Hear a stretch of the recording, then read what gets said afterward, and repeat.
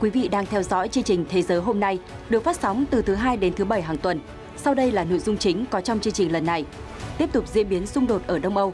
Chỉ trong vài ngày qua, khắp Ukraine đã chìm vào cảnh khói lửa theo đúng nghĩa đen sau khi Nga phát động đợt oanh kích toàn diện nhằm đáp trả vụ tấn công cầu Crimea. Mới đây, người đứng đầu Hạ viện Nga đã công bố bản đồ các khu vực Ukraine phải hứng chịu cơn thịnh nộ từ Moscow. Giữa lúc phải liên tục hứng chịu các đòn không kích của Nga, Ukraine nói chỉ mới được đáp ứng 10% nhu cầu phòng không. Liên quan đến việc gia nhập NATO, Bộ Quốc phòng Ukraine hôm 13 tháng 10 khẳng định, trên thực tế nước này đã là một thành viên của Liên minh quân sự do Mỹ dẫn đầu. Trong cùng ngày, Tổng thư ký NATO ông Jens Stoltenberg tiếp tục cảnh báo Nga sẽ nhận hậu quả nghiêm trọng nếu sử dụng vũ khí hạt nhân. Đồng thời, vị quan chức cũng khẳng định việc khối quân sự này phải dùng đến vũ khí hạt nhân là một viễn cảnh rất xa vời. Ở phía còn lại trong cuộc xung đột là Nga. Hôm 13 tháng 10, nước này lên tiếng bác bỏ yêu cầu của Liên Hợp Quốc về việc hủy bỏ sáp nhập 4 vùng Ukraine. Song song với đó, Moscow cũng thông báo bắt giữ một số đối tượng có âm mưu phá hoại đường ống Nord Stream dẫn khí đốt từ Nga đến Thổ Nhĩ Kỳ. Các thông tin khác, Tổng thống Nga Vladimir Putin gửi lời chúc đến chủ nhà World Cup 2022. Tòa án tối cao bác bỏ yêu cầu được tham gia vụ khám xét hồ sơ của ông Donald Trump. Vùng xanh của Iraq hứng chịu hàng loạt tên lửa giữa lúc Quốc hội nước này chuẩn bị cuộc họp bầu ra người lãnh đạo mới cho đất nước. Bất chấp các mối đe dọa từ các bên chống đối, Iraq đã có tân tổng thống, mở đường cho việc thành lập chính phủ mới nhằm kết thúc những bất ổn chính trị kéo dài gần một năm. Dịch tả bùng phát bất thường ở Syria. Nữ hoàng Đan Mạch Margrethe khai trương bảo tàng. Khách sạn Phoenicia, biểu tượng của Beirut mở cửa trở lại giữa khủng hoảng. Cùng tìm hiểu tủ lạnh thủy canh giúp tránh lãng phí rau. Ở Jordan, một nhóm hoạt động xã hội vừa phát động chiến dịch thu gom rác thải nhựa để hỗ trợ trẻ bại não. Hãy cùng chúng tôi theo dõi nội dung chi tiết ngay sau đây.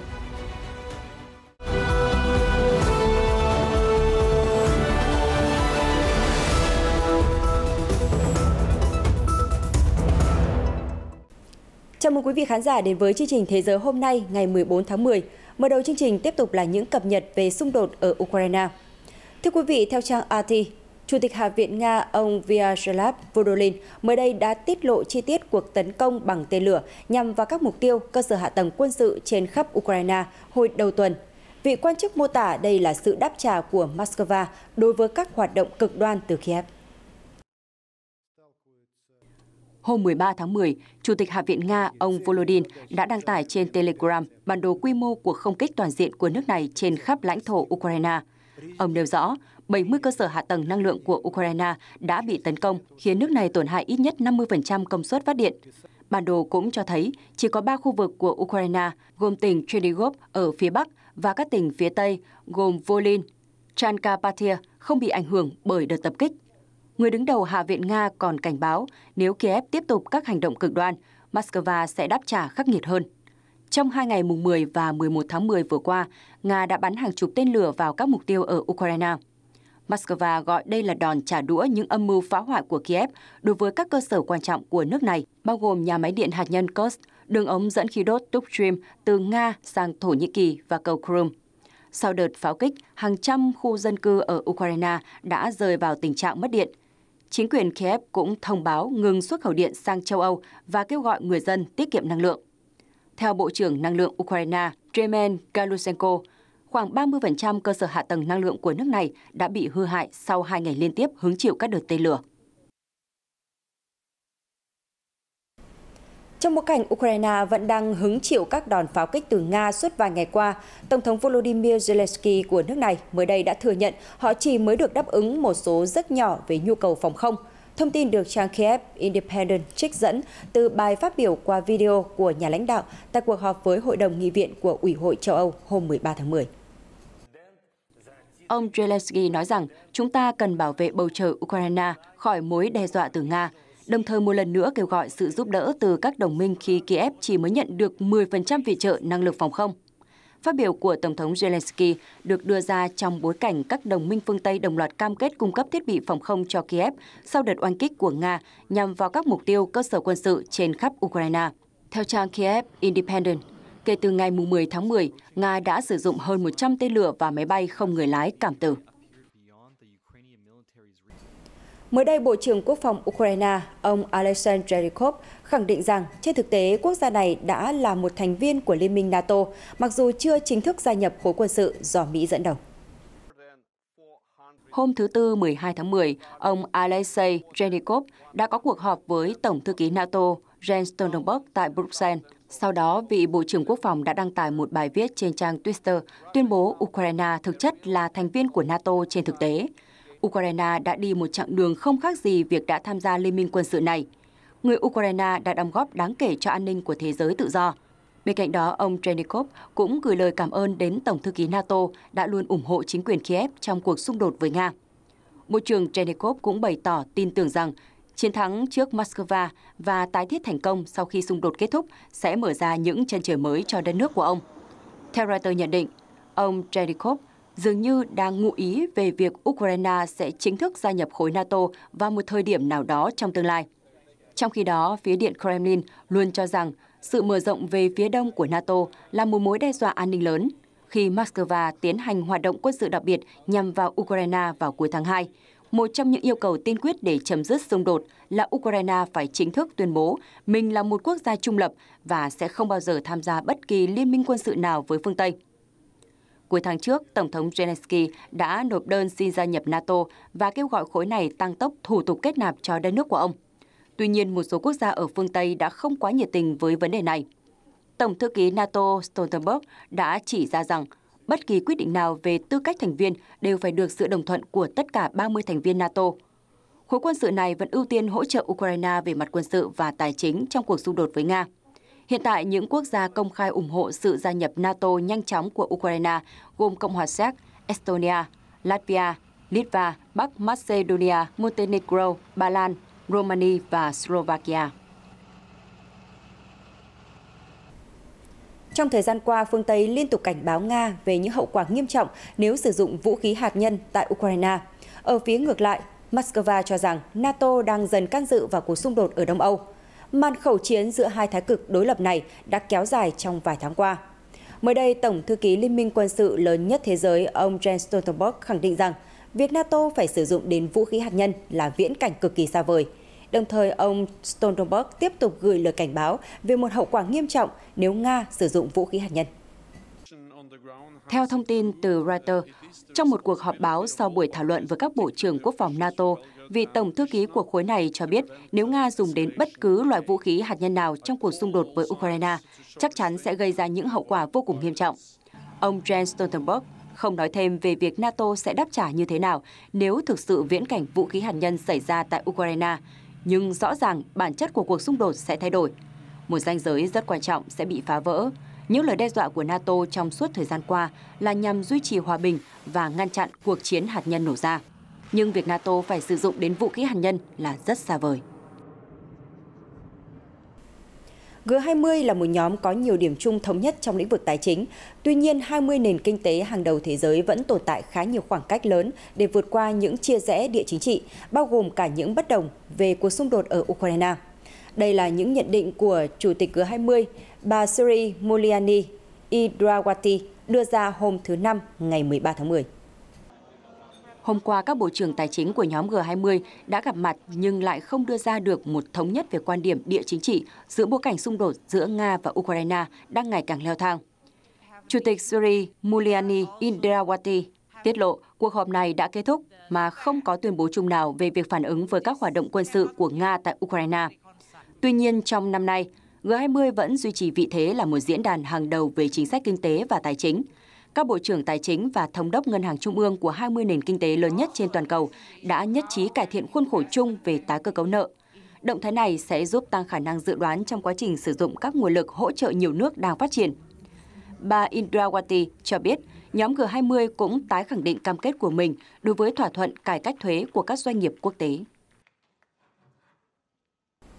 Hôm qua 13 tháng 10, với số phiếu áp đảo, Đại hội đồng Liên Hợp Quốc đã thông qua nghị quyết không công nhận các cuộc trưng cầu dân Ý được tổ chức tại Donetsk, Lugan, Kherson và Zaporizhia về việc sắp nhập vào Nga. Ngay sau đó, Moscow đã lên tiếng bác bỏ quyết định này. Phát biểu trên kênh truyền hình địa phương, Ngoại trưởng Nga Sergei Lavrov cho hay phương Tây đã ép buộc các nước đang phát triển bỏ phiếu chấp thuận nghị quyết lên án Moscow về việc sáp nhập lãnh thổ mới. Vị quan chức nhấn mạnh, bằng cách dùng các lệnh trừng phạt để đe dọa, họ mới có thể đảm bảo được kết quả đó. Tuyên bố được Ngoại trưởng Lavrov đưa ra sau khi Đại hội đồng Liên Hợp Quốc tổ chức phiên họp khẩn vào ngày 12 tháng 10 để bỏ phiếu lên án kết quả trưng cầu dân Ý sắp nhập vào Nga tại bốn khu vực Ukraine. 143 trong số 193 quốc gia thành viên đã ủng hộ quyết định, 5 nước phản đối và 45 quốc gia bỏ phiếu trắng hoặc không bỏ phiếu. Đại diện thường trực của Nga tại Liên Hợp Quốc Vasily Nebenzia đã gọi việc thông qua nghị quyết là một hành động khiêu khích của phương Tây và sẽ làm suy yếu các nỗ lực nhằm giải quyết xung đột giữa Moscow và Kiev. Cũng trong ngày 13 tháng 10, Điện Kremlin thông báo Nga vừa bắt giữ một số đối tượng tình nghi có liên quan đến âm mưu phá hoại đường ống dẫn khí Túc Stream. Thông tin được trang RT đăng tải sau khi Tổng thống Vladimir Putin đề xuất phương án dùng đường ống này để vận chuyển khí đốt đến châu Âu, thay thế Nord Stream 1, vốn gặp các sự cố dò dỉ nghiêm trọng gần đây. Phát ngôn viên Điện Kremlin, ông Dmitry Peskov nêu rõ, những kẻ phá hoại đang muốn làm nổ tung đường ống Túc Stream trên lãnh thổ của chúng tôi. Trước đó một ngày, tại hội nghị năng lượng ở Moscow, Tổng thống Putin cho hay Nga có thể sử dụng đường ống nối sang Thổ Nhĩ Kỳ để cung cấp khí đốt cho EU. Theo nhà lãnh đạo, điều này sẽ giúp Thổ Nhĩ Kỳ trở thành trung tâm trung chuyển khí đốt lớn nhất châu Âu. Ông chủ điện Kremlin không đề cập rõ tên đường ống, nhưng tuyến dẫn khí đốt duy nhất từ Nga đến Thổ Nhĩ Kỳ hiện nay là Túc Stream, có công suất 31,5 tỷ mét khối một năm. Hồi đầu tuần, ông Putin từng cáo buộc Kiev thực hiện các âm mưu phá hoại nhằm vào cơ sở hạ tầng năng lượng của Nga, trong đó có đường ống Túc Stream. Theo trang RT, kể từ giữa tháng trước, Cơ quan an ninh Liên bang Nga FSB đã thực hiện nhiều vụ bắt giữ liên quan đến kế hoạch tấn công Túc Stream. Hiện Ukraine chưa bình luận về vụ việc trong bối cảnh các quốc gia EU vẫn đang thảo luận về biện pháp áp đặt giá dầu thô của Nga nhằm làm giảm nguồn thu của Moscow liên quan đến hoạt động quân sự ở Ukraine. Vừa qua, Phó Thủ tướng Nga Alexander Novak nhấn mạnh nỗ lực này sẽ gặp thất bại vì giá dầu được gắn liền với sự cân bằng cung và cầu trên toàn thế giới. Thông tin được trang RT đăng tải. Trước đó, Mỹ đã đưa ra đề xuất về việc đặt trần giá cho dầu thô của Nga là 60 đô la Mỹ một thùng. Tại diễn đàn tuần lễ năng lượng của Nga, ông Alexander Novak đã phản bác rằng tôi không rõ Washington lấy con số này từ đâu. Họ muốn nói gì thì nói. Quan chức hàng đầu này tiết lộ Moscow sẽ không cung cấp năng lượng cho bất kỳ quốc gia nào áp dụng chính sách thương mại mâu thuẫn với những điều khoản trong hợp đồng dầu khí đã ký với Nga. Việc áp đặt giới hạn giá sẽ là một tiền lệ xấu cho thương mại toàn cầu. Giá dầu thô của Nga dự kiến đạt mức 100 đô la Mỹ một thùng vào năm 2023. Đầu tuần này, Bộ trưởng Ngân khố Mỹ bà Janet Yellen cho biết, giới hạn giá có thể được áp đặt đối với dầu của Nga trong phạm vi 60 đô la Mỹ một thùng. Chính sách này nhằm mục đích khiến cho Moscow giảm doanh thu từ lĩnh vực năng lượng. Biện pháp này hiện vẫn đang được Mỹ và các đồng minh phương Tây thảo luận. Chuyển sang các thông tin nổi bật khác trên thế giới. Thưa quý vị, cách đây 4 năm, Nga là nước chủ nhà của một trong những vòng chung kết World Cup hấp dẫn nhất trong lịch sử. Tuy nhiên, thì đội bóng xứ Bạch Dương sẽ không góp mặt ở Qatar tháng 11 tới do án phạt của FIFA đối với Liên đoàn bóng đá Nga. Mới đây, Tổng thống Vladimir Putin đã gửi lời chúc tốt đẹp đến nước chủ nhà Qatar. Phát biểu trong cuộc gặp quốc vương Qatar, Sheikh Tamim bin Hamad Anthony bên lề hội nghị thượng đỉnh tại thủ đô Astana, Kazakhstan hôm thứ Năm, Tổng thống Nga Vladimir Putin bày tỏ tin tưởng kỳ World Cup sắp tới sẽ thành công tốt đẹp.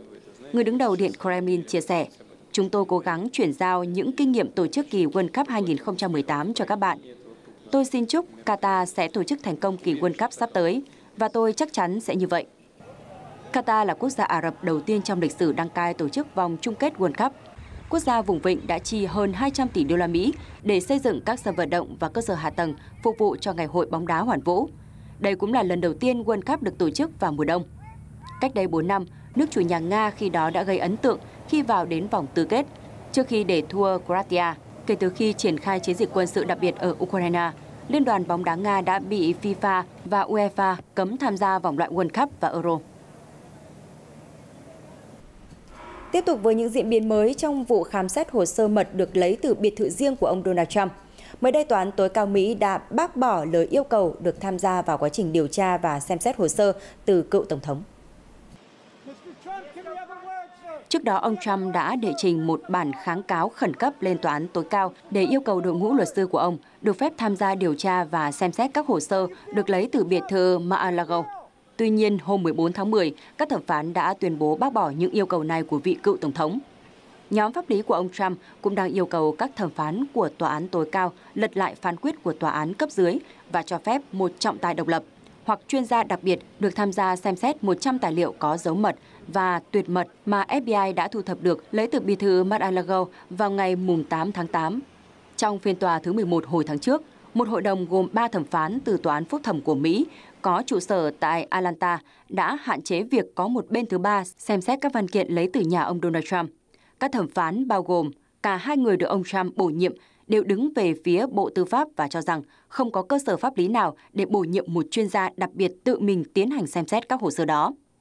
Các luật sư của ông Trump đã đệ trình văn bản yêu cầu tòa án tối cao bổ nhiệm chuyên gia đặc biệt xem xét những hồ sơ đã được phân loại. Chỉ có chuyên gia đặc biệt mới công bằng và khách quan trong việc nhận định những hồ sơ này là tài liệu cá nhân của ông Trump hay là những văn kiện tuyệt mật lấy từ Nhà Trắng khi cựu Tổng thống hết nhiệm kỳ. Bộ Tư pháp cho biết, đơn đệ trình lên tòa án tối cao của ông Trump không có giá trị. Bộ cũng phản đối việc thẩm phán kỳ cựu Raymond Deary làm chuyên gia đặc biệt xem xét số tài liệu mà FBI thu giữ.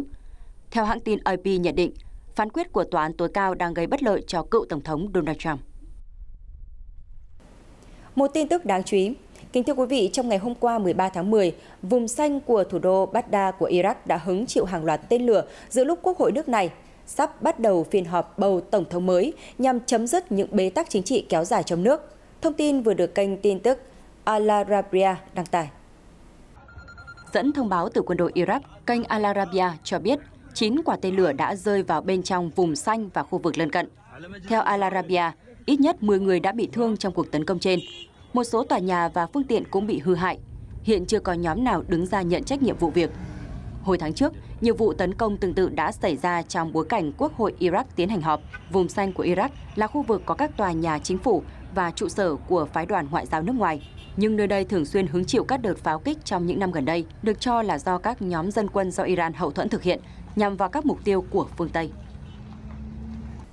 Cũng trong ngày 13 tháng 10, Quốc hội Iraq đã tổ chức họp bỏ phiếu bầu chính trị gia người Kurd ông Abdul Latif Brais làm tổng thống mới của nước này.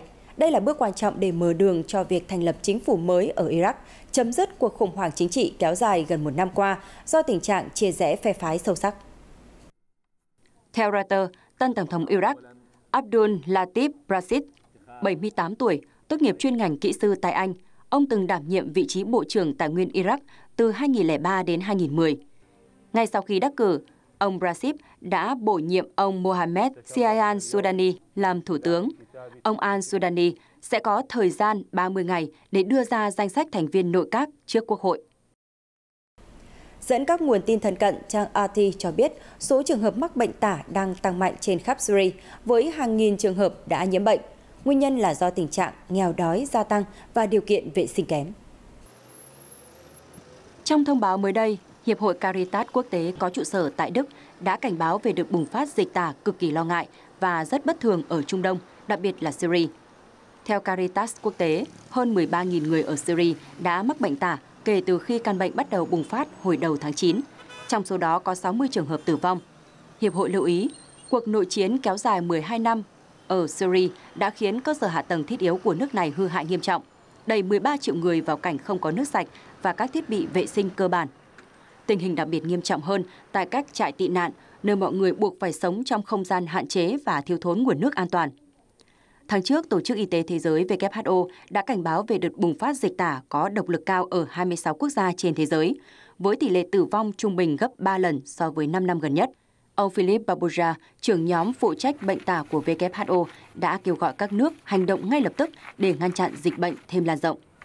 Bệnh tả là một bệnh tiêu chảy cấp tính do vi khuẩn ở ruột gây ra. Người nhiễm bệnh có thể mất nước nghiêm trọng, thậm chí tử vong.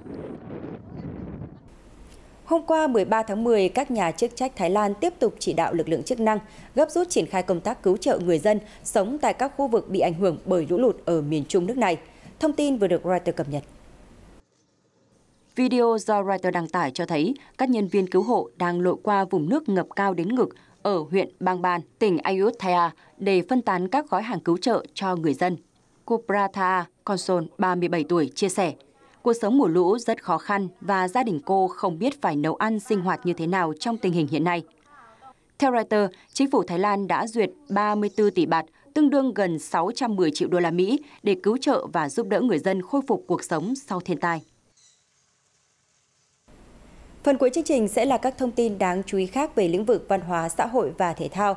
Thưa quý vị, nữ hoàng Đan Mạch Margrethe mới đây đã khai trương một bảo tàng tại Stettin, địa điểm được UNESCO công nhận là di sản thế giới.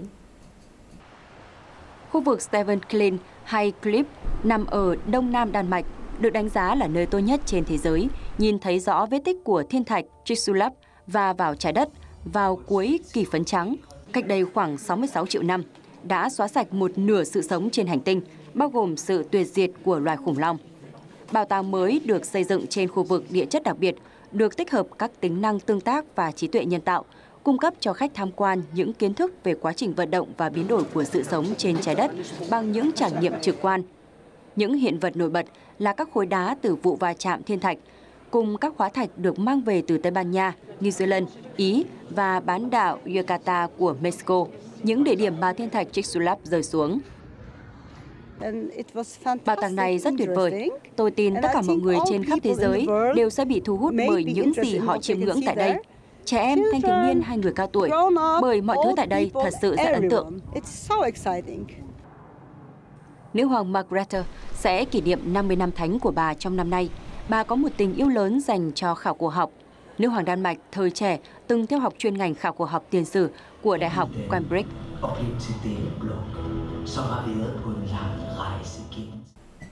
Thưa quý vị, khách sạn mang tính biểu tượng ở thủ đô Beirut, Liban mang tên Phoenicia đã mở cửa trở lại đón khách sau hơn 2 năm ngừng hoạt động vì vụ nổ cảng Beirut tháng 8 năm 2020. Thời điểm khách sạn mở cửa trở lại cũng là lúc Liban đang bước vào năm thứ tư của cuộc suy thoái tài chính, cuộc khủng hoảng tồi tệ nhất mà quốc gia Trung Đông này từng hứng chịu kể từ nội chiến 1975-1990. Khách sạn mang ý nghĩa lớn đối với người dân thành phố bằng cách mở cửa ngay trong thời điểm khó khăn nhất. Chúng tôi đang muốn tất cả thấy rằng toàn thể người dân Liban vẫn có niềm tin sẽ cùng nhau vượt qua cuộc khủng hoảng hiện tại. Đối với hầu hết người dân Liban, các tòa nhà khách sạn ở trung tâm thành phố Beirut không chỉ đơn thuần là những công trình kiến trúc. Khách sạn Funica thành lập năm 1961 được xem là địa danh đặc biệt tại thủ đô. Nhiều người từng có kỷ niệm đặc biệt ở đây.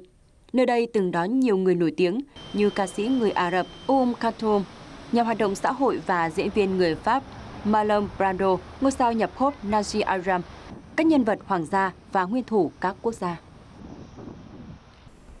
Ngày nay, lãng phí thực phẩm đang có xu hướng gia tăng, trở thành vấn đề nan giải của toàn cầu. Như một cách để góp phần giải quyết thực trạng này, một công ty ở Ai Cập đã cho ra đời phát minh mang tên tủ lạnh thủy canh. Mặc dù bề ngoài trông giống như một tủ đông thông thường trong siêu thị, nhưng đây thực chất là một tủ lạnh thủy canh được gọi là Farm Here, do doanh nghiệp chuyên cung cấp giải pháp canh tác thông minh Sharap lắp đặt và phân phối. Thiết bị này có một hệ thống thủy canh bên trong, cho phép trồng các loại rau mà không cần đất. Thay vào đó, nước và chất dinh dưỡng cho cây trồng sẽ được cung cấp bởi các bồn chứa đặt dưới đáy tủ lạnh. Ông Malik Mohamed, trưởng bộ phận phát triển kinh doanh của Sharap, chia sẻ, hiện có khoảng 50% rau bán trong siêu thị bị lãng phí vì không ai mua. Tuy nhiên, với chiếc tủ lạnh thủy canh, rau sẽ được trồng cho đến khi có người mua mà không bị hỏng. Công ty Trarap cho biết, những tính năng nổi trội khác của thiết bị này bao gồm sử dụng nước ít hơn 90% so với phương pháp canh tác truyền thống, cũng như giảm lượng khí thải carbon do lượng bớt khâu vận chuyển của rau. Khan hiếm nước ngọt đang là một trong những thách thức lớn mà Ai Cập đang phải đối mặt. Ở Jordan, một tổ chức phi lợi nhuận có tên Greenwell vừa phát động một chiến dịch thu gom nắp chai nhựa và lon nước ngọt.